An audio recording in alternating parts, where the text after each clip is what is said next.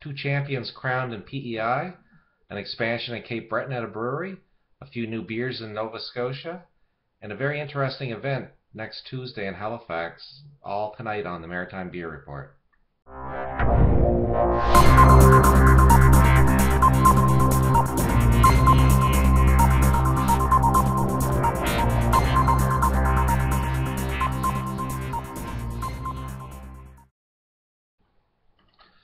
Hello and welcome to the April 18th Good Friday edition of the Maritime Beer Report. The Gahan House crowned the winners of its first annual Homebrew Challenge. Congrats to Ryan Palmer and Lee Nicholson. They won with their Cranberry White Ale. This brew will be on tap at the Gahan House in a couple of weeks. Big Spruce Brewing grew a little this week. They added two 10 barrel Una tank fermenters and hope to passivate them uh, yesterday and then on to brewing.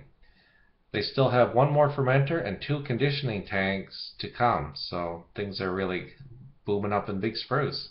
Jeremy is also brewing a second batch of You Spin Me White Round Wheat IPA because, as he puts it, you loved it. Boxing Rock Brewing Company and the Ladies Beer League released Alewife's Revenge last evening at the Stillwell Beer Bar. At 4% ABV, it'll be a great session beer. It'll be available in 1 liter growlers at Halifax Seaport Market on Saturday and 650ml bottles at Bishop's Cellar, Premier Wines and Spirits, Harvest Wines, and Cristall Wine Merchants. I had a glass night and I quite like it. And although they didn't mention it, I assume it's on sale at the brewery as well. Rock Bottom Brew Pub have their latest beer on tap, dubbed the Mighty Thulsa Doom. It was spawned from the dregs of a tiny little can of Heady Topper. This is from uh, Rock Bottom.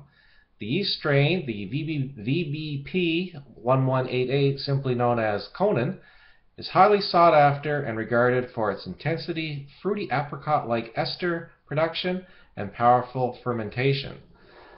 So we thought we'd have a little time brewing up the double IPA with it. Local brewnoser Rob Shortt harvested the yeast from a can of delicious hoppy Vermont-born brew, cultured it in a starter, and ran it across the harbor to to them. We continued nurturing and feeding the beast, continuing into a concentrated 50 liter starter for the main batch of the hoppy Columbus Simcoe Centennial Chinook goodness. They also they also add that they created it with the nod of John Kimmich and team at, at Alchemist Brewers of the Heady Topper. And by the way, this one is 7.8 ABV and 100 plus IBUs calculated. Rogues Roost said last Saturday that their oatmeal stout is on, first time in six years, so get it while it lasts. I stopped in the Lion and Bright yesterday to talk to owner Sean about Tuesday's tap takeover by Big Spruce. The event starts at 6 p.m. and goes until close, which I think is 1 a.m. There's a DJ until 9, and then Modern Grass Bluegrass Band after that.